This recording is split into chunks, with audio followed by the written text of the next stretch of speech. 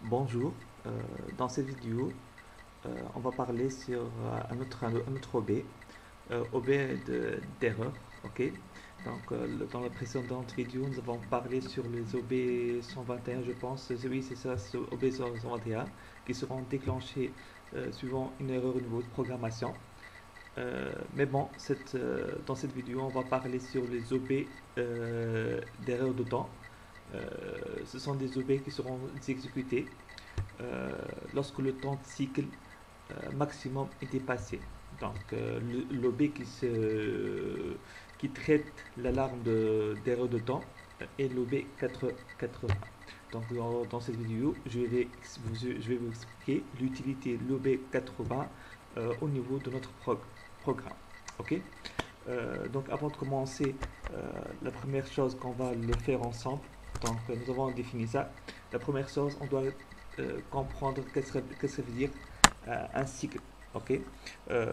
Donc, un cycle, c'est quoi un cycle? Donc, pour un cycle, pour un automate, donc il va lire toutes les entrées. Donc,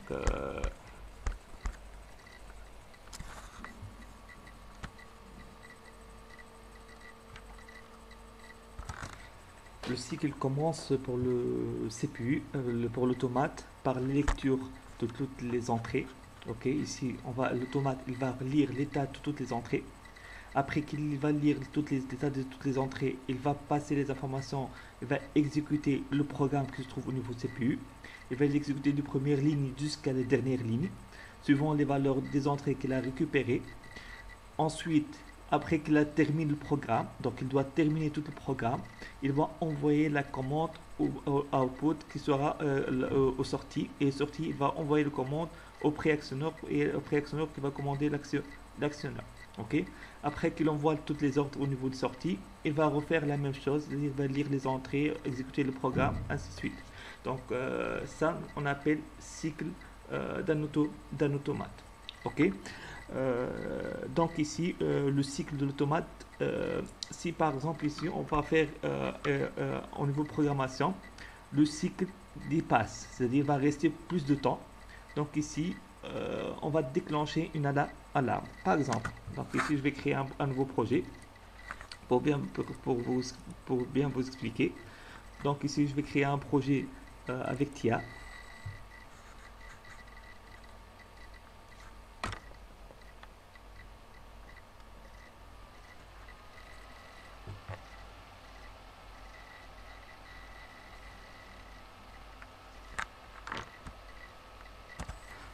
Créer un projet. Créer.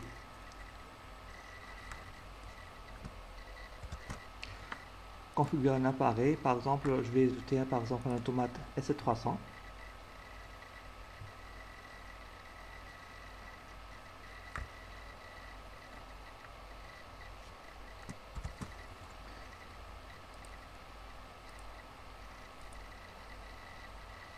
Donc vous pouvez choisir euh, S7400, S3500, donc comme vous voulez, c'est le même principe.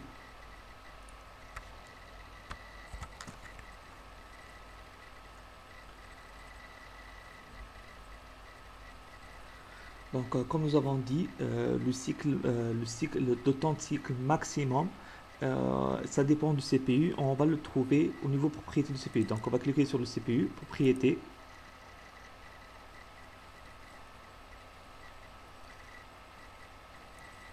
Cycle, c'est ça. Ici, nous avons, voilà. Donc, si euh, nous avons euh, euh, notre temps de cycle, de, temps de cycle de temps de surveillance de cycle, c'est 150 millisecondes. C'est le cycle maximum de notre CP, CPU. Ok?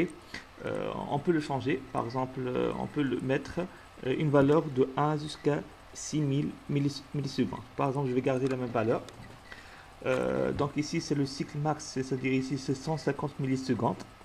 Euh, si le CPU, si le CPU dépasse ce, temps euh, pour l'exécution pour, pour l'exécution de son programme, donc il va ici déclencher une ala- alarme. Donc ici, par exemple ici on va faire un petit programme de telle façon, de telle façon il va dépasser ce cycle, ok, pour, pour voir comment il va déclencher l'alarme. Donc ici, par exemple, je vais aller aux fonctions je vais ajouter une fonction fc et je vais créer euh, un boucle de telle façon il va rester dans ce boucle et il ne va pas sortir pour dépasser le temps cycle. Ici, le, dépassement peut être, euh, comment on peut faire le dépassement au niveau programme?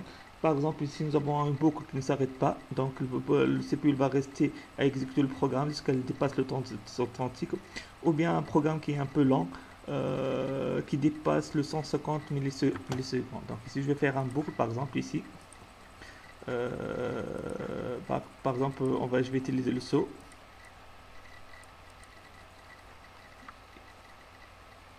Ici, je vais utiliser un, contact. Et ici, par exemple, euh, je vais envoyer la baie. Par exemple, ici, je vais mettre M0.0, par exemple. Ici, euh, je vais mettre l'étiquette jump. Jump, ici, jump, il va faire un saut. OK. Euh, ici, je vais mettre une étiquette. Par exemple, je vais faire l'appeler retour. Et ici, je vais mettre l'étiquette, notre étiquette retour. retour. OK. Donc, qu'est-ce que va faire le programme? Si j'ai m0.0 égale à 1, donc il va faire un saut vers le, parti programme qui, qui, a une étiquette retour. C'est-à-dire, il va revenir ici. Donc, il va ici, qu'est-ce qu'il va faire ici? Il va rester dans une boucle euh, indéterminé, c'est-à-dire euh, il va rester, donc il va exécuter ça, donc il va retourner, donc il va pas sortir de cette boucle, ok? De telle façon ici, euh, il va dépasser, donc il va lire les entrées, il va exécuter ce programme, donc il va pas sortir ici de ce programme jusqu'à qu'il dépasse le temps et on va déclencher une alarme de temps d'exécution. Ok, donc pour simuler, donc on peut le simuler sur un, on peut le tester sur un autre matériel ou bien sur un simulateur. Par exemple, ici on va utiliser un simulateur.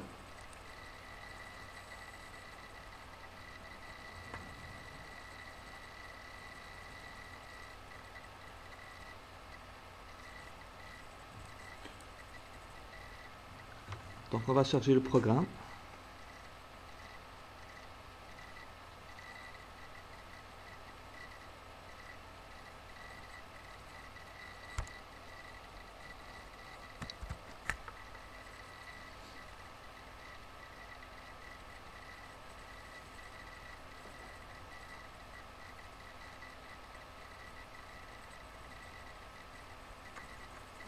On va charger le programme. Euh, bon, ici j'ai oublié d'appeler la fonction au niveau OB1. Donc je dois appeler la fonction sinon on ne va pas, le voir. Donc cette fonction elle va rester en boucle, euh, elle ne va pas s'arrêter. Donc je vais charger une autre fois.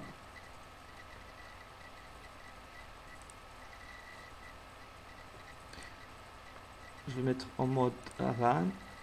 Donc si je mettais tester pour voir l'état de notre CPU, je vais faire visualiser visualisation. Donc je vais, notre fonction, je vais faire visualisation.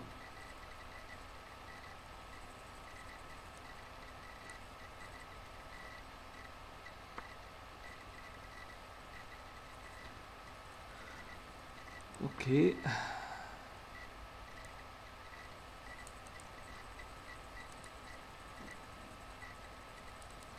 Donc ici, je vais faire forcer cette valeur. Donc je vais forcer en 1.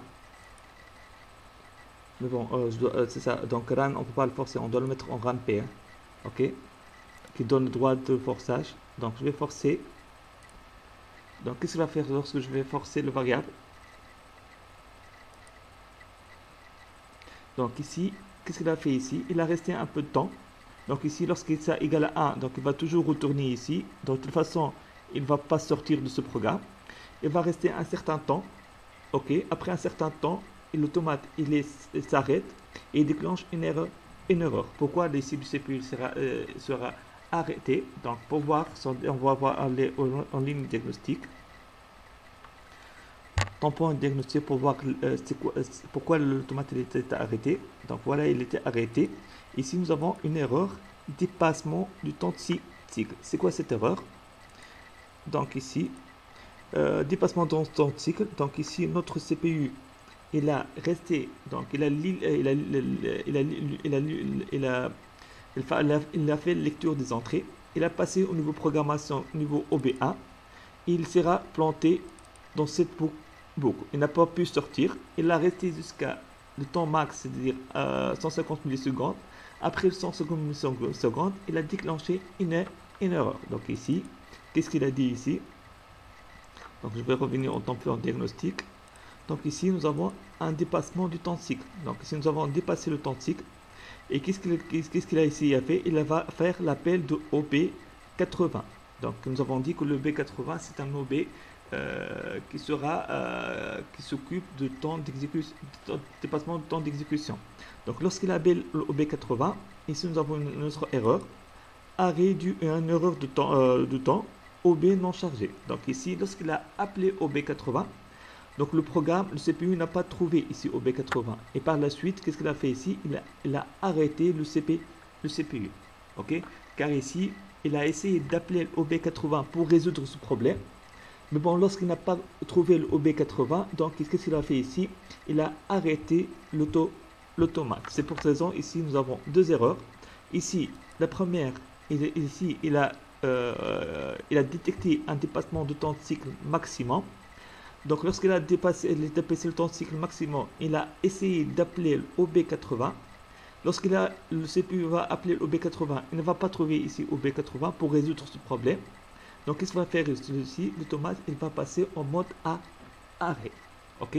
Donc, si nous n'avons pas l'OB80, donc on ne peut pas résoudre le, problème euh, on va euh, va pas résoudre le problème euh, de dépassement de maxi, de dépassement du cycle maximum. Donc l'automate il va s'arrêter, il va déclencher une erreur une erreur.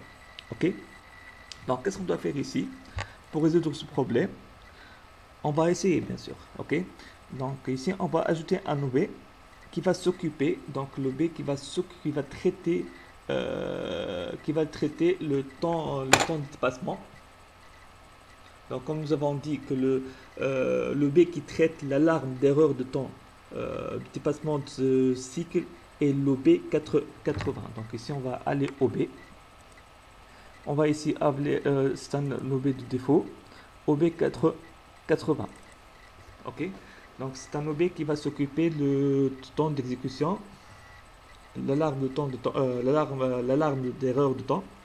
Donc ici nous avons ajouté un OB80. On va laisser d'abord vite. Ok, on va voir qu'est-ce qui va passer à travers le OB80 et qu'est-ce qui va changer au niveau programme. Donc ici je vais charger le programme.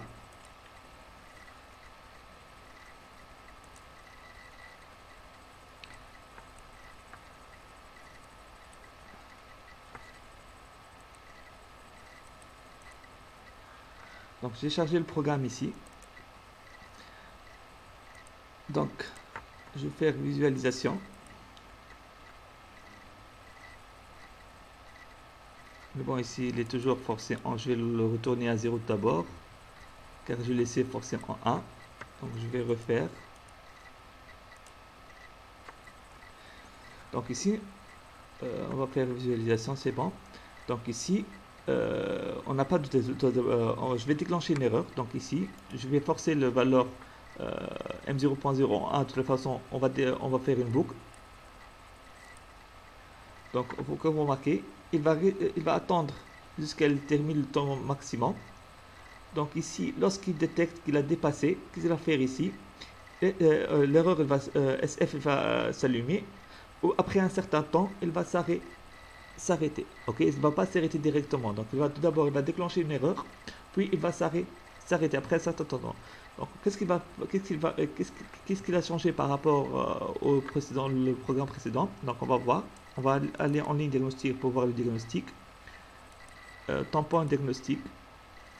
Donc ici, nous avons la même chose. Ici, nous avons un dépassement de temps cycle. Donc ici, le programme est entré dans un boucle. Il ne va pas s'arrêter dans son boucle on, a dépassé 150 millisecondes. Après que nous avons dépassé 150 millisecondes, on va appeler le OB80, qui est l'OB d'erreur d'horloge. Lorsqu'il va appeler le OB80, donc on va passer au deuxième. Ici, le, CPU s'est s'arrêté. Pourquoi il s'est arrêté? Car dans le OB80, il n'a pas pu résoudre le problème.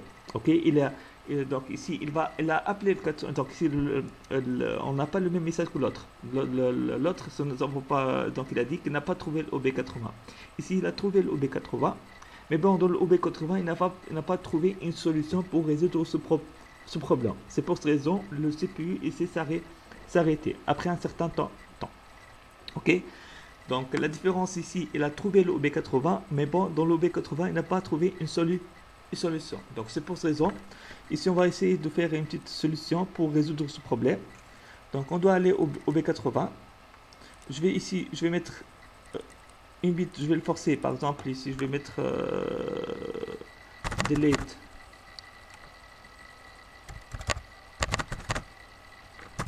je vais définir une, euh, un, bit. Je vais définir au niveau mémoire. Et si euh, je vais par exemple, si j'ai pas ce bit égal à si, ce bit égal à 0, donc je vais forcer en A. Ici, donc le OB80 qui sera déclenché si on la dépasse, donc il va forcer ce bit en égal à 1. Ici, on va revenir au notre programme. Donc ici, on va mettre contact fermé de delete error. Qu'est-ce que ça veut dire? Si nous n'avons pas euh, si nous n'avons pas dépassé, donc delete error égale à 0, donc le bar 1, donc il va fonctionner normalement. Si nous avons dépassé le temps de cycle, donc il va appeler OB80. Lorsqu'il va appeler OB80, il va, trouver, euh, il va forcer euh, le bit delete error en 1. Puis lorsqu'il va revenir en OB1, on va faire il va appeler la fonction fc1 donc delete error égale à 1 le bar c'est 0 et par la suite qu'est-ce qu'il va faire ici? Il va sortir de boucle ok? Donc ici nous avons trouvé une solution pour résoudre pour sortir de ce boucle à travers le OB80 ok? Euh, je vais charger le programme. On va le tester. On va le tester.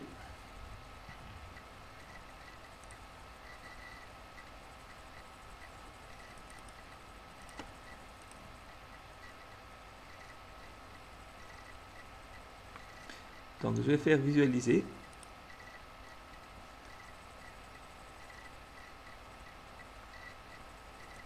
Je dois le retourner à 0 ça. Forçage à 0. La même chose ici, forçage à 0. OK. Donc, ici, nous avons à l'état initial, c'est notre... Donc ici, je vais stop, redémarrer. C'est bon. Donc ça, c'est l'état initial de notre programme. Donc lorsque je vais forcer cette, cette en 1, qu'est-ce qu'il va faire ici? Il va entrer en boucle. Il va rester 150 millisecondes. Il va dépasser ce temps de cycle maximum. Donc qu'est-ce va faire ici Après qu'il déclenche.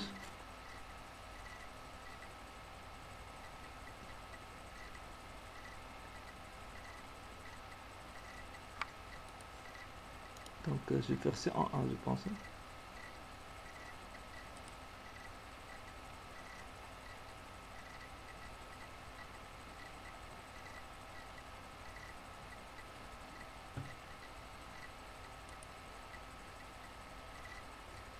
Ah, je dois le mettre RAN P. RAN, on ne peut pas le forcer en RAN.